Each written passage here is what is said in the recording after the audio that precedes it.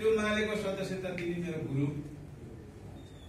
म मान्ने भएर मन्त्री भइसकेँ। उहाँ पेसागत जिल्ला कमिटीमा हुनु हुनुहुन्छ। अझै पनि उहाँको ह्यान्डराइटिङले मैले सदस्य पाएको। तर कम्युनिस्ट पार्टीमा कस्तो हुँदो रहेछ भने सायद हाम्रो पार्टीको शीर्ष नेताहरूलाई पार्टी सदस्य दिने मान्छे कि छैन भए पनि ज्येष्ठ कम्युनिस्ट मन्त्री होला। तर हाम्रो नेताहरूले नेतृत्व गरिरहँदा त्यो सदस्य दिने मान्छे जस्तो गौरववादी कोही पनि हुँदैन। त्यसो हुँदाखेरि यो पार्टीको कमिटीगत रूपमा जिम्मेवारी लिइरहँदा को अध्यक्ष भयो को उपाध्यक्ष भयो को सचिव उपसचिव को सदस्य भयो यसले ठुलो मानेर राख्दैन। तर सबभन्दा ठुलो टिम स्पिरिट हो। टिम स्पिरिटमा काम गर्नको निम्ति हामी बिच सुदृढ एकता चाहिन्छ। यहाँ कुन लबीको कताको हितोष्टी को कहाँ थियो भन्ने कुराले मतलब राख्दैन अब हामी कहाँ छौँ? र हामी हाम्रो भन्ने भावना आत्मसात गरेर कसरी अगाडि बढ्ने?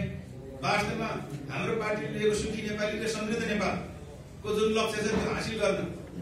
वास्तवमा हाम्रो नेपाली गौरवलाई बचाउन राष्ट्र राष्ट्रियता राष्ट्रिय स्वाधीनता राष्ट्रिय अखण्डता सार्वभौमसत्तालाई बचाएर सामाजिक न्यायद्वारा स्थापित गर्दै आम नेपाली जनताको हित र पक्षमा कसरी काम गर्ने नेपाली हुनुको गौरवको अनुभूति कसरी दिलाउने अन्तर्राष्ट्रिय क्षेत्रमा हाम्रो नेपाली दाजुभाइहरूले विदेशी सेनामा लागेर भए पनि हत्केलामा ज्यान लिएर भिक्टोरिया क्रस जस्तो उच्च सैनिक सेवा प्राप्त गर्ने हाम्रै नेपाली। तर हामी चाहिँ यहाँ जापले एउटा पदको निम्ति चाहिँ लफाबाजी गर्नु कुनै अर्थ छैन अब हामीले हाम्रै देशको स्वाधीनता जोगाउन सार्वसत्ता जोगाउन हामी डाइभर्सिटी भित्रको युनिटीलाई जीवन्त राख्दै हामी बिचको सद्भाव सहिष्णुता मित्रता र एकतालाई जीवन्त राख्दै कसरी पार्टी पद्धति अनुसार जनताको दौल- जनताको बौद्धले जनवाद दिमागको सिद्धान्तको अनुसार। हामी कसरी अगाडि बढ्न सकिन्छ र आम नेपाली जनताको हित र पक्षमा काम गर्न सकिन्छ? भोजपुरी नागरिकहरूको हकमा चाहिँ गरिखाने नागरिकहरूको स्थापित गर्ने र अन्वेषणमा कसरी? सरकारले लिएको गतिविधिहरूलाई पार्टीले लिएको नीति विचारलाई कसरी पुर्याउन सकिन्छ भन्ने पाटोबाट हामीले सोच्नु पर्ने हुन्छ।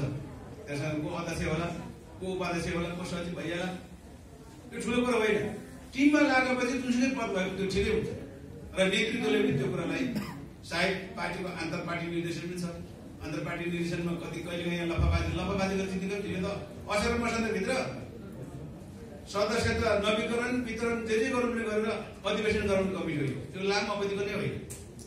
यो त अहिले फागुनको लाख भइसक्यो। असार मसान्त भनेको त दुई तिन महिनाको कुरा हो। त्यसको निम्ति लफाबाजी गर्नु कुनै अर्थ छैन।